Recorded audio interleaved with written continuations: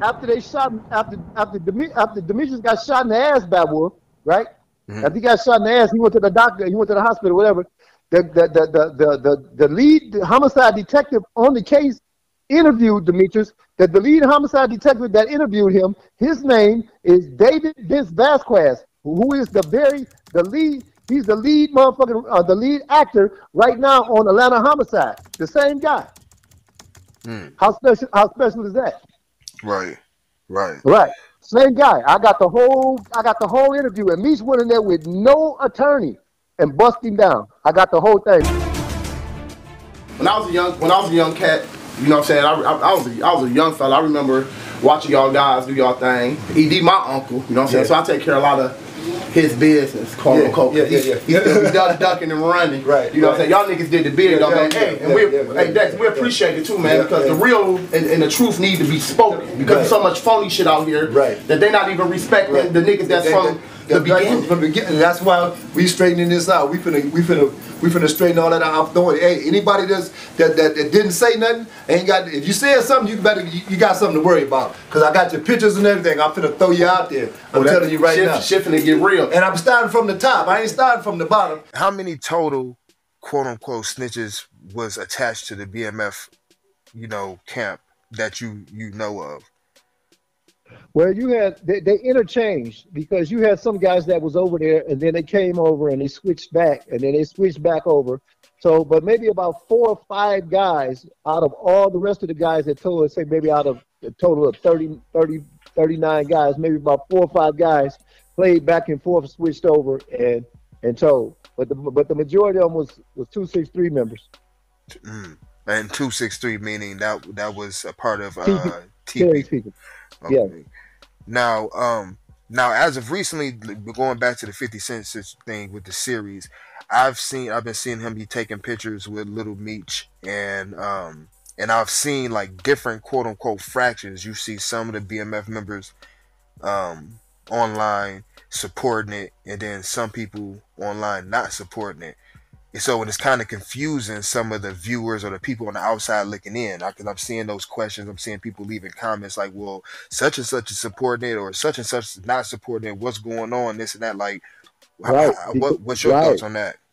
Right. Well, first of all, I like that because because it's gonna. It, it- there's a there's a, as as you see that there's a there's there they, we are all together, but we have separate we have separate uh, organizations that we belong to, and some of us, even though we belong to separate organizations, we are friends.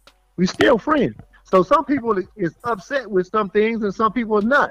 You understand? But they're not. They but they're all claiming to be something that they're. A lot of them is claiming to be something that they're not. What they wasn't involved with, even though they may have started off that way. But when they separated, when they separated, they went their own separate ways. That was the identity that they took. But the, the the popular identity is the Black Mafia family, is the BMF.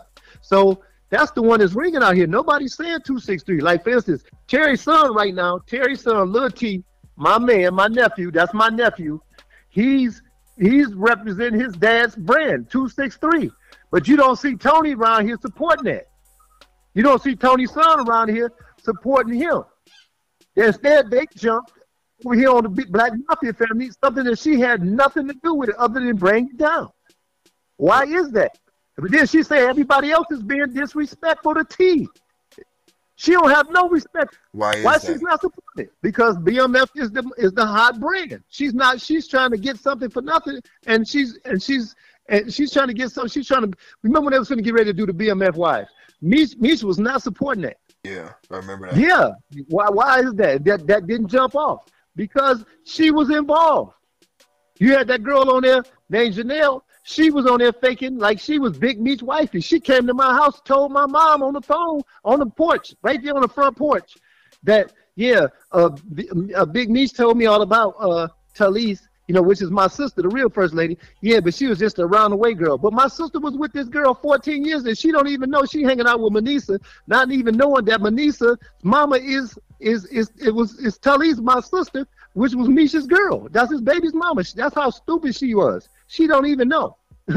I mean, these people just got people around here. They they fanning and they they coming around. She went over to Demetrius. Uh, Janelle went over to the Big Meech wifey. Went over to Demetrius's mama house to go over there to get his birth certificate.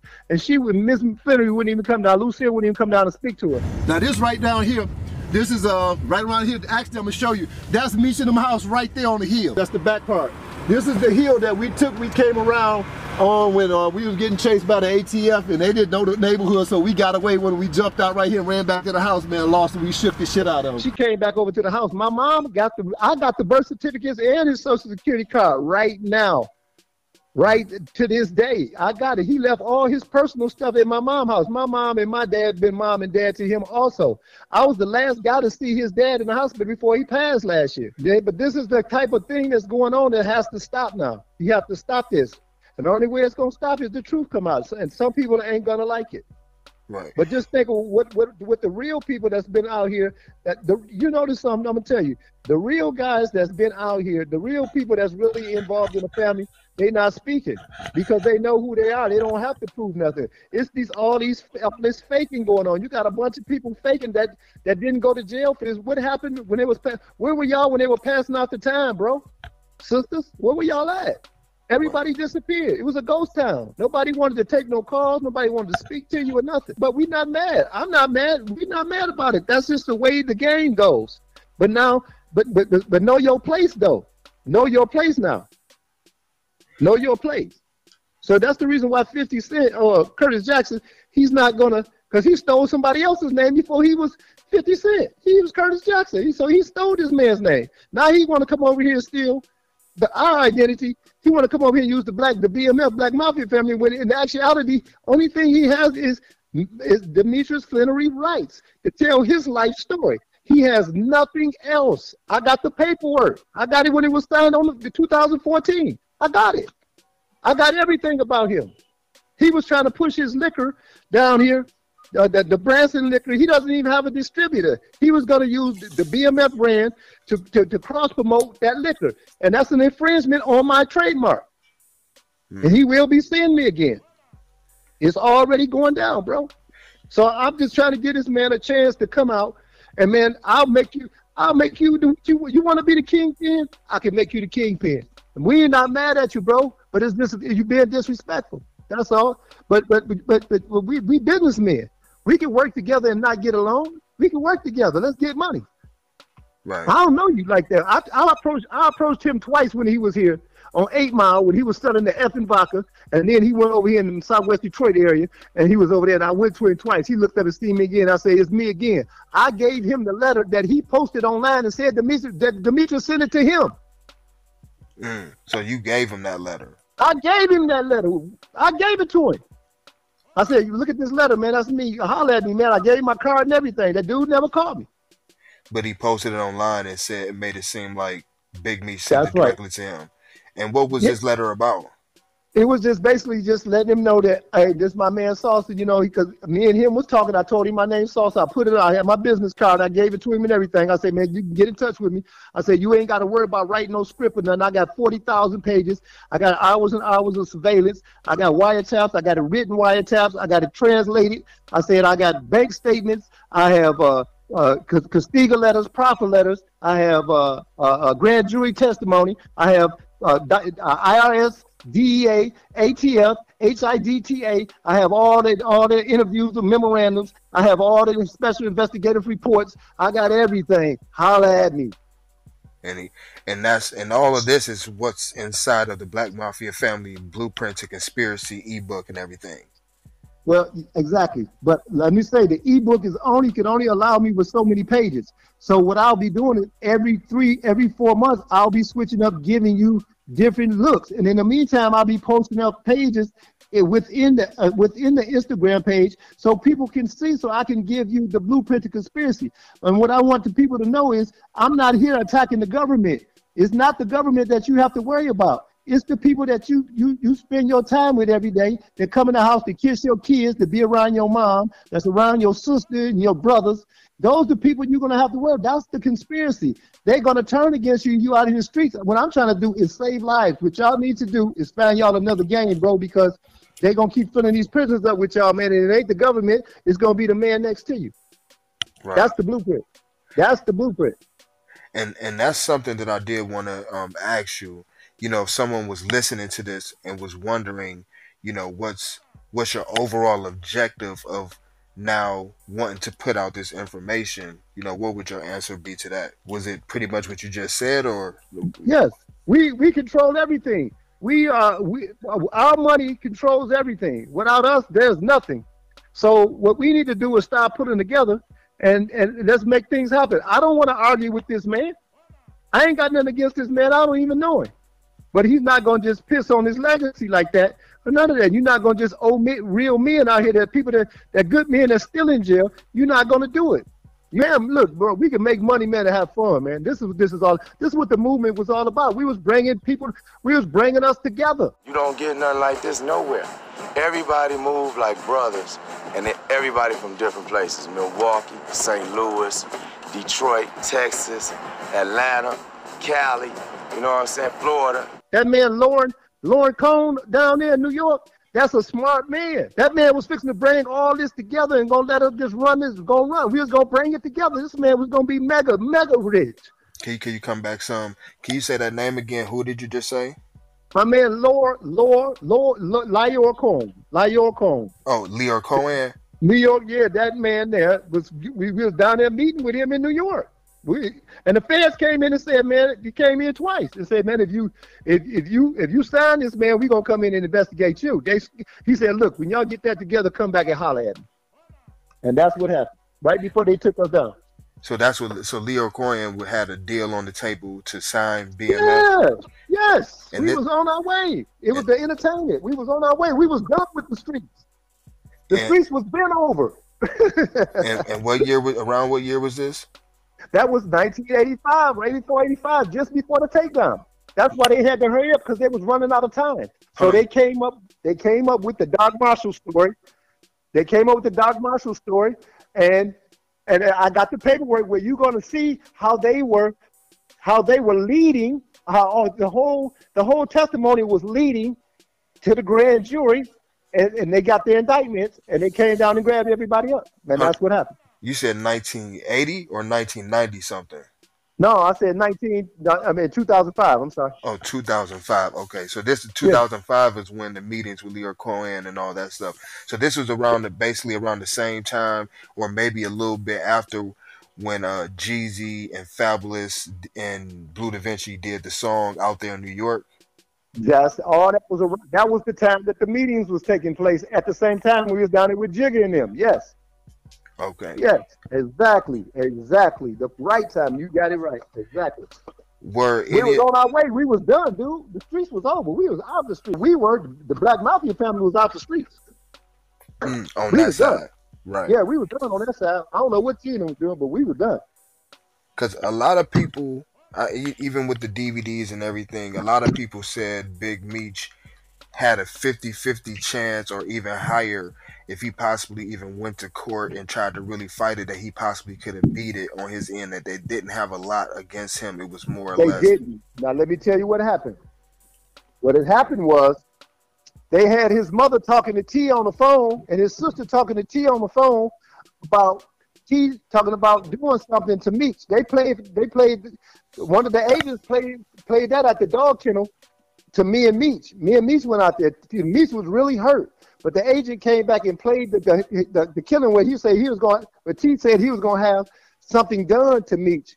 You know, Meech because Meech bringing us into a bad light and this and that the other. And they heard their mother discussing some stuff, you know what I'm saying? And they knew. So what they did was they told Demetrius, we already got your dad and we got your brother. And we got your mom and your sister too on the recording. Da da da da da da. Now you're gonna take something, or we gonna lock them. You gonna lock them up, and he could have just walked. So what had happened was they came up with another deal in, in, in the room. The prosecution came up with another deal, and and and the Demetrius, I got the, it's called the detention hearing. I got the detention hearing, as well as the Wolf shooting interview. I got all this, dude. I got everything. It's very interesting. It's it's a great read, dude. You read this, but this is not what I'm saying. This is I got the document. Mm-hmm. So they what they were gonna do was they said, look, if you don't take this plea we getting ready to give you, we're gonna lock your mom and your sister up. So he took the plea. He knew they ain't had nothing. So he's looking at 12, 15 years. Mm-hmm. And then the judge went back, and once he took the plea shit, they slammed him. They doubled back and made it thirty. They, instead they slammed him. Sure did. And that's And basically that's what happened. And that's basically what they've been fighting with these appeals this whole time. Because I heard, you know, of course, from the outside looking in, and I heard like it's a lot of stuff in this paperwork that he got charged twice with this and that. You know what I mean? To, Yeah, to inflate the time. Yes, and that's why I'm telling you, they went to my sister and was trying to get my sister to come and get him for child support or anything. My sister said no. Now, my whole family was like, hell no, why would I do that?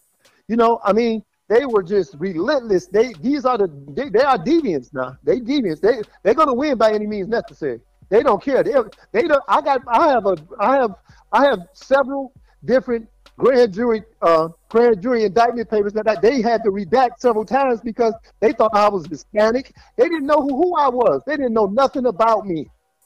So this is how this is how this is how these people play. When I went in there and I told them that I wasn't Hispanic, you know what I'm saying, based on on that criteria alone, this case should be dismissed. They went back and redacted and sent me another. They was not gonna let me go. Even in the courtroom, the judge told the prosecutor, he said that, look here, if you lose this one, it's not coming out of my pocket. Oh my kids, my mom mama gonna tell you this.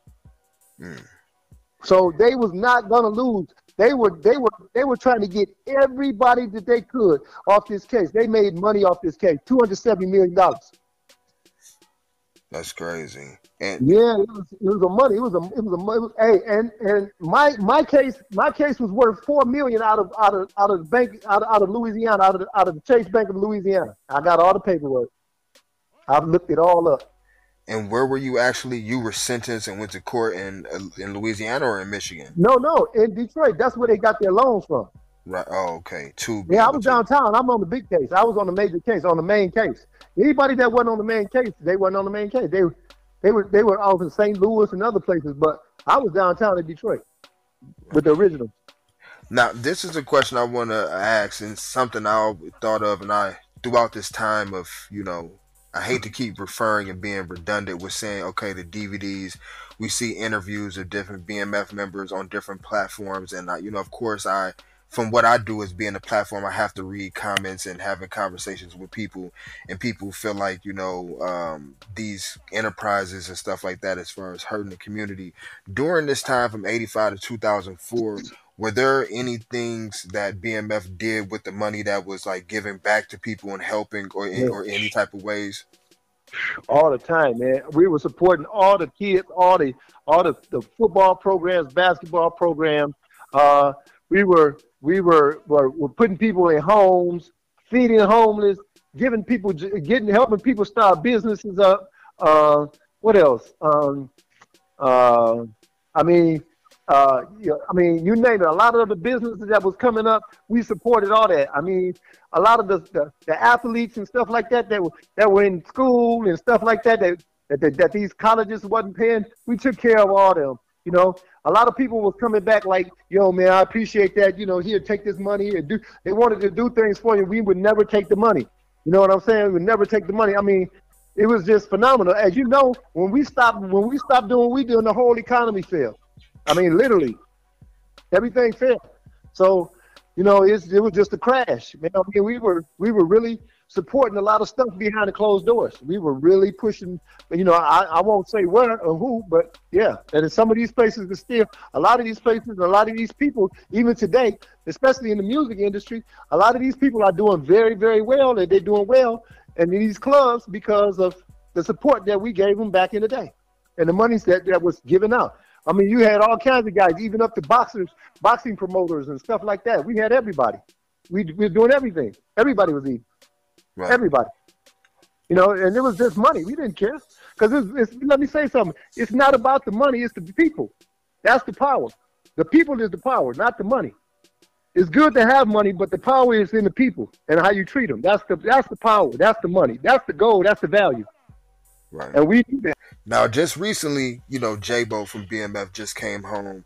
Um, Mhm. is there a particular reason why like J-Bo, Fabolous, and other people that you know that's known to be connected to BMF during that time back in the day did not go down to the festivities and everything this this prior weekend or anything dealing with like the casting call or anything else with 50 Cent? because it's disrespectful. They not messing. See, this, see, this, this, you got to understand something. Them guys, uh, they, they, they don't, they not gonna mess with him. I can tell you that they won't, they won't mess with this guy like that. You know what I'm saying? It'd have to be somebody that a good go between. Me, I'm the only guy that really that'll go in there that can that can that can make something really happen here, dude. I'm the only one. I know exactly what what's needed and what's not needed. Let me handle this and you handle that. And I guarantee you, you they're gonna come along. They will come along. I know just what to do, man. This is what dude was gonna do. Oh, this is not this is not Sauce's dream. This is not what Sauce. Sa- I'm not putting this together. I'm just following the blueprint that dude that, that we had already laid down. This was this was something, but this is his mouth. This was his baby. I'm just trying to I'm trying to fulfill it. I would why would why would Meech be over there with 50 and nobody else support that? Because they don't like 50, but they'll support dude. But it's got to be somebody here to go between. That's why when I came home, I got the trademark and I got the whole case. Holla at me, dog. I've been there since 85. Holla at me, dude. You're not gonna be able to do it without me because I'm the only go between here. I'm the only go between. Nobody else is gonna mess with you. And it ain't gonna work because I got the trade. And a lot of people kind of consider you during this era of everything. They considered you kind of like the ghost of BMF. You know, I was, right. I'm the James St. Patrick. And I'm the ghost, the real ghost, the Patrick Swayze around here. Because they are every, anybody that knew knew I ran the whole show quietly. But I'm not the I'm not the guy that going out to the clubs. I don't dress in the big saggy pants and all that. I dress up. I'm a I'm a I, I'm an old school D boy. I'm big black gators, baby. You know what I'm saying? Gabs and suit pants, suit coats and shit, and sports coats. I, I I don't do that. I ain't flashy. I might buy something decent, but I, I ain't flashy like that. I, I don't I don't need the spotlight. I don't like the camera. You know, I talk a lot of I talk a lot of crap and stuff like that, but that's not me. I'm, I, I like the business. I'm excited about doing the business, man. I'm just excited with the business. That's adrenaline for me. I love that. Right. I'm high energy. I love that. I love going in, into your town talking crap, showing you how to make this bag work. I love that. That's what I did. I was I've been adapted to that. I've been doing that since '85. Yeah. Now I want to speak. I want to get to know who is Richard Maurice Garrett, aka Baba. And what was that was guy? Mm-hmm. That guy, I grew up with him. We grew up in the projects together, the same place I was telling you. His his father, Fishman, and my uncle, my uncle Bobby, was was real close. They were, you know, they were into their things in the street. So I grew up with Baba all the way. We went to high school together. We went to college together, and everything. This guy ended up telling on me. After all this, this is how that's how close this is. This is what I'm trying to tell the people about the blueprint conspiracy. This was just about. You can grow up with somebody from the sandbox all the way to the end, and they'll turn on you. This, uh, this is that hurts. That hurt me. That's why I put this guy face out there because I want y'all to know because he hurt me. His name is in my paperwork all through it. He told all on me. He know everything about me. This guy we laid together in the same dorm room in college. Okay, so what was? Can you paint the picture of what actually happened that got him in custody to put him in a position to tell on you? Okay, what happened was we were out in Gardena, and we had run into a bad spell just before we met the the Mexican mafia, before we met the before we met the essays, and and uh, he had something like one hundred forty thousand dollars that was on the book. We was gonna use all that. Me, we, me, him, T, me, and the old man. We was gonna put all our money together and go get us a bag from somebody. You know what I'm saying? And, and try to work this back. He had more money than all of us, but our money still would have added up to a nice lump sum. He wanted his money, so we gave him his money. He took off, so he was out. Then he went down there and got with J Rock them my man Davis, J Rock them, he got with them, and J Rock and them ended up running him over. So he saw us again in 2002. We we back on top. We saw him at Magic City. And he was sitting over there. He's like, "Yeah, I'm gonna come back." And dude was like, "Man, you was a boss over here. You know, went over there." He's like, "No, man, you know, this is what loyalty gets you over here." So ever since then, he's just been bitter. So when he had a chance to strike out against him, he did, and that's what happened. Mm. And we all grew up together. But I told Meech I never really liked Baba in the start from the beginning. You know what I'm saying? I never really cared for him. And I told dude, I said, man, you're making a mistake by bringing this dude in.